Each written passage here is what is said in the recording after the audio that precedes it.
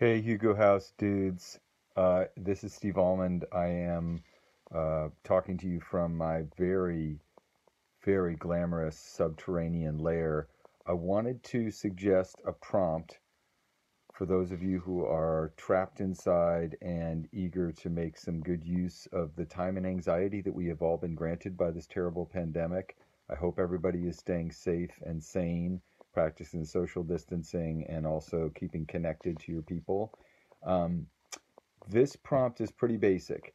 One of the things I find in my writing life and the writing life of the work that I see from students is that they have a lot of trouble writing what um, some other brilliant writer called the obligatory emotional scene. That is, a scene where there's a lot of intense emotion. Part of that is because we try to steer away from that in our civilian lives, and we're, for understandable reasons, trying to keep an even keel and not let our emotional states get out of control.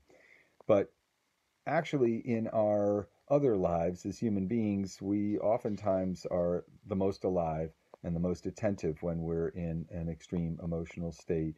And the one relationship archetype or kind of relationship that almost depend almost always plugs us in in fact always plugs us into an intense and exalted set of feelings is when you have a crush a crush is the relational version of kind of doomed love, of the burden of hope colliding with the, uh, you know, sort of crashing under the rocks of it's never going to happen. And everybody, fortunately or unfortunately or inevitably, has a wonderful crush or five lodged in their history. So here is your prompt, Hugo House freaks. Go back in time and think about your first major crush. Could be a romantic crush, could be a crush on um, a, a, sort of a surrogate parent type. It could be a crush on a friend. It could be a crush on a movie star or a singer um, or a literary figure. But just somebody who you thought about intensely, desired, coveted, um, and were very, very emotionally involved in, even though you knew that you probably were not going to get the same feeling back. Maybe even that was integral to to the sense of connection was the impossibility of it, sort of love as self punishment.